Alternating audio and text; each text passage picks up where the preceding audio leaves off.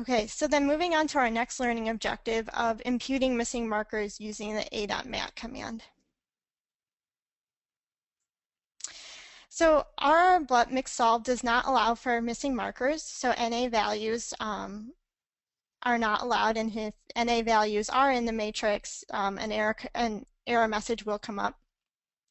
So the um, imputed value for my code is the population mean for that marker. And this is useful for SNP data since the level of missing data is pretty low.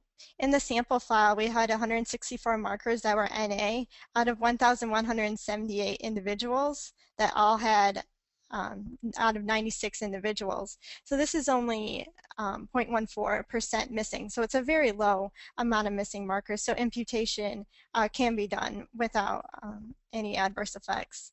And this command also calculates the additive relationship matrix, but we won't be using that today in the code.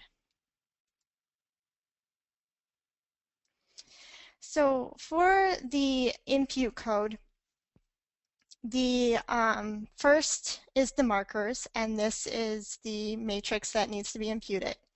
And the max dot missing I have set to 0.5. So this is the maximum proportion of missing data that is allowed. So if more than 50% of the markers are missing data, then the markers are not imputed, and these markers should then be removed. This is a good quality control since you're removing markers that most likely were just not genotyped correctly and really aren't helpful to the analysis.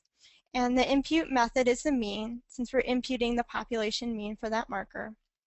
And I have return.imputed equal to true, so since I want to see the printout of the imputed results.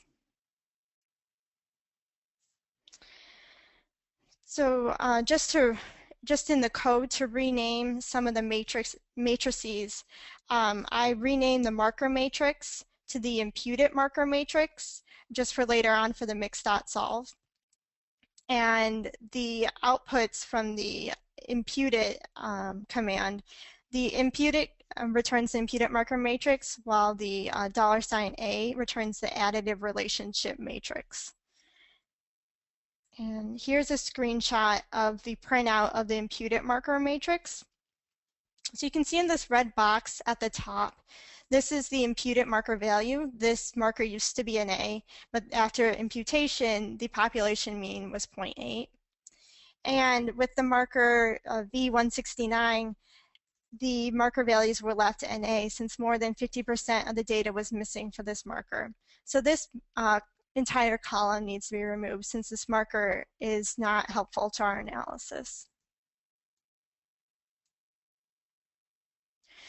So in order to remove markers that had more than 50% missing data, there were two columns that need to be removed that had NA after the imputation, and this was column 169 and column 562.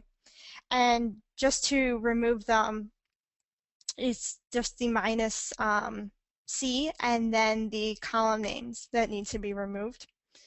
And the new dimensions you can see show two less columns. So these are the two markers that have been removed. Um, and well, then I then renamed this matrix again, markers impute 2.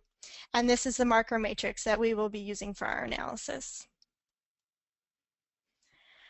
Okay, so going on to our next learning objective to define the training and validation populations.